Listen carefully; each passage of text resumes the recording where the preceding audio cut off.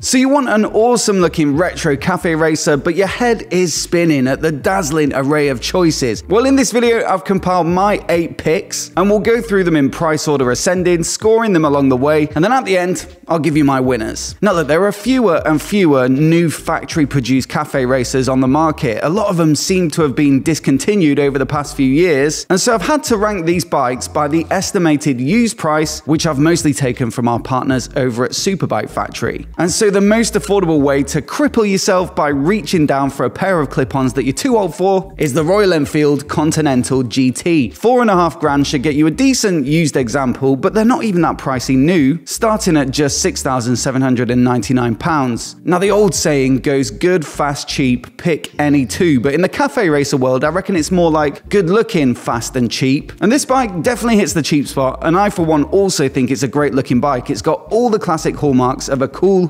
retro cafe bike. So you've got the single seat setup and the seat cowl, the long slim tank, the clip-on bars, and the right sort of low and long silhouette. So certainly an A for style here, but the trade-off is that it's not that fast, so I'll give it a C for performance. It's a fairly weighty bike and it only makes 47 horsepower peak. The brakes are basic, the suspension and tires are basic, and so we've got some much more spicy stuff coming up on this list. That said, I still got to score it A for value because like I say, new or used, it's about as affordable as it gets for a full-size cafe racer. Now, unfortunately, it loses the Bobby bonus point for not having a cafe racer style fairing, either as standard or in the accessories catalog, and so the total for this bike as a starter, 3 for an A, 2 for a B, 1 for a C, so its grand total without the bonus point is 7. Now, next up, we've got the W800 from Kawasaki, and while I appreciate them getting a cafe style bike on the market, I'm gonna have to give this one a C on style, because it's the bare minimum effort for a cafe racer edition of a bike, because essentially they've just stuck a fairing on the standard W800 and that's about it. There's no other significant changes. The other thing is a lot of them come in brown, which is fine on the saddle for that sort of retro leather look. But for me, brown is a color that I don't really think should grace the fuel tank of any motorcycle. Performance is a C as well. It's got the same 47 horsepower as the Enfield and the fairly simple chassis, so it'd be unfair on the Enfield to score it otherwise. And then for value, I'll go for B. I mean, you can't buy these new anymore. This is one of the bikes that has been discontinued, but around about five and a half grand seems reasonable for one used. Thing is, you could save a grand and get the Enfield, which for me is better looking and it runs about the same. But this bike does, however, rescue the bonus point for the factory fairing, and so it gives it five in total. Now, before we get on to the next one, I just want to say a massive thanks to Brilliant.org for sponsoring this video. Brilliant is the ultimate way to learn about maths, science, and computer science, and the focus is on doing rather than just sitting and listening, which personally I much prefer. Two courses that I'd specifically recommend to fellow bikers would be Classical Mechanics, which has plenty of automotive references and examples, but also Physics of the Everyday, which is super interesting to anyone who's practically minded. But on top of those, there are thousands of lessons across a huge range of courses that will help you to level up, from foundational and advanced maths to AI, data science, neural networks, and more, with more and more lessons being added every month. Now, not only will you get specific practical skills from it, but also learn how to be a better thinker all round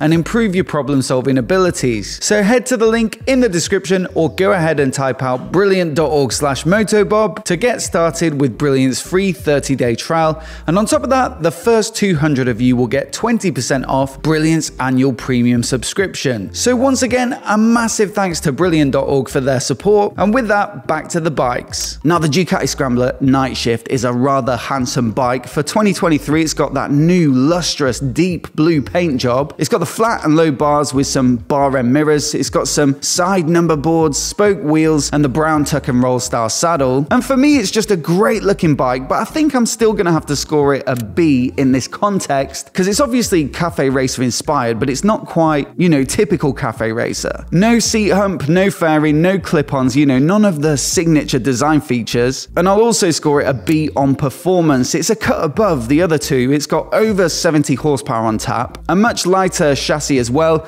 and then componentry from the big names like Brembo, Pirelli, and KYB. In fact, I recently rode this new model just last week week, and it's a proper blast for little country back roads, and it should also make for a nimble little bike to pick your way through town. So ideal cafe racer performance, and then value I'll go for B as well, because the new one is getting on for 11 grand now, which I think is a bit steep for this sort of bike. But if you shop around used, you can find some of the older full throttle or cafe or classic versions, all of which share some of the attitude of this new night shift, and you can get them for pretty good money. I've seen them around six and a half grand. No fairings, so no bonus point, but that's six in total. Now here's a bit of a surprise for me. The BMW R9T Racer. Straight up a fantastic looking bike, and so I have to give it an A. I just love the simple white paint and then the splash of blue and red. And you've got the fairing, the clip-ons, the tail hump, the spokes. It's a beautiful modern interpretation of the Cafe Racer format, and I'm also going to give it an A on performance. This is up over 100 horsepower, so it can definitely mix it with the quicker bikes on this list. And they also handle too. I mean, the engine keeps its weight nice and low, and all the hardware is decent stuff. But the surprise for me is the price. I mean, it's another one that's been discontinued, but used, it looks like you can get them for about seven and a half grand or so, maybe a little less, and still with only about 5,000 miles on the clock. So that's another A for the BMW, and that's full marks. Great looking, fast, not that pricey, and it's got the bonus point for the fairing too. It's just a good job that we don't have a comfort category because these have a bit of a reputation for being excruciating after an hour or two. Next up, Thruxton. Looks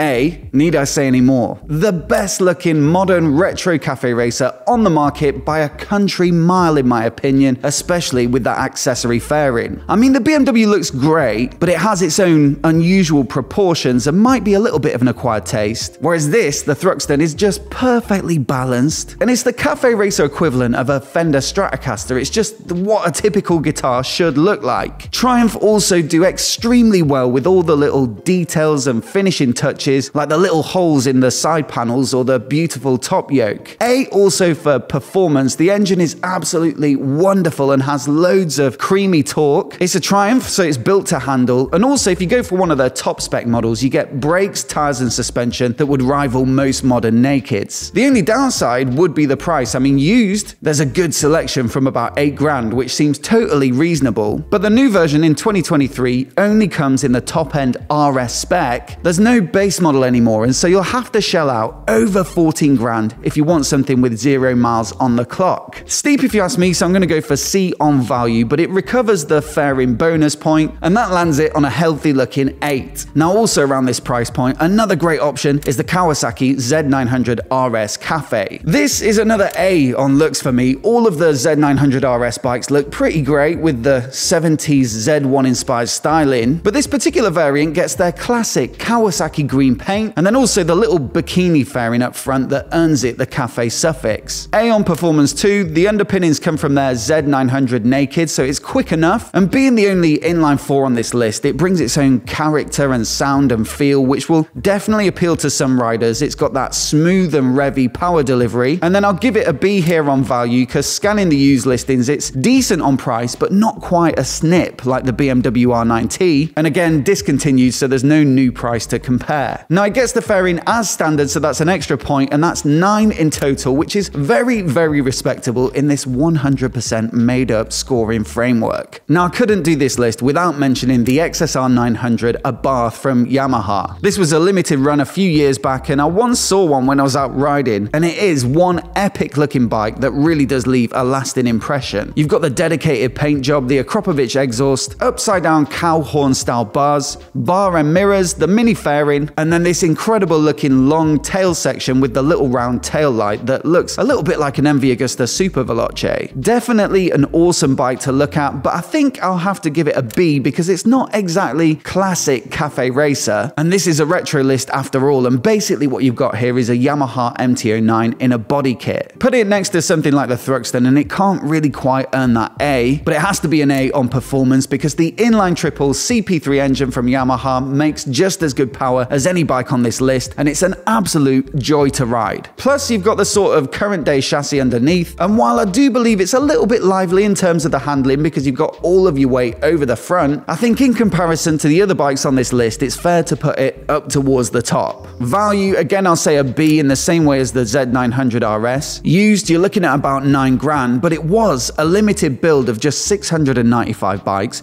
of which only 100 made it to the UK. So you could justify the extra grand over the Kawasaki, and it gets the point for the cafe fairing, and so you've got a grand total of 7. But top of the tree price-wise is the Norton Commando 961 CR. This is a beautiful looking machine, and it almost looks custom like it's handmade. And specifically, the clip-on cafe-style CR model as opposed to the flat bar SP just has that slightly lower set stance that really suits the rest of the chassis. Now, power is a little bit more modest than some of the bikes more recently on this list, so it makes about 77 horsepower peak, and it is pretty hefty at 230 kilograms curb, but it is a super pleasant bike to ride with loads of character, and it's also got this deep, bassy exhaust note that gives you a really nice soundtrack. Now, as you'd expect at this price point, you get the best of the best in terms of Brembo brakes and Öhlins suspension, and it certainly adds a quality feel to the braking and ride. So I think it's got to be A on looks, B on performance, and used, you can maybe pick them up for around 12 grand, but I will give you a word of warning. This is the older model before they re-engineered it recently, and the goal was to improve safety and also reliability, so I definitely suggest you do your research before you get involved with an older model on the used market. New ones are £16,999 though, which is certainly top end for this style of bike. They really are quite stunning in the flesh, but in the context of this list, it's got to be a C, and there's no bonus point for the fairing, so 6 for this one, and that brings me nicely to my recommendations. So if you want something cheap, used or new, then you've got to go for the Enfield, I reckon. It's great value for money, it looks authentic, and it rides decent too. If on the other hand, you've got your heart set on something brand new, then there are only really four options on the list. And my pick, providing you've got the funds, would be the Thruxton. It looks every bit as good and classic as the Enfield, if not a little bit better, but the riding experience is far, far, far more exhilarating. But our top scorers on this list were the Kawasaki Kawasaki Z900 RS Cafe with 9, and the BMW R9T Racer with 10. So if you fancy something quick, cool looking, but you want to save a bit of cash on something used, then both of these are 100% worth a look. As always, I'd love to know which bike you pick down in the comments below, so do let me know. And if you want to see my full review of the Norton, which I shot at the UK launch last year, then I'll link to it on the screen here. Give it a click, give it a watch, let me know what you think. Many thanks for watching,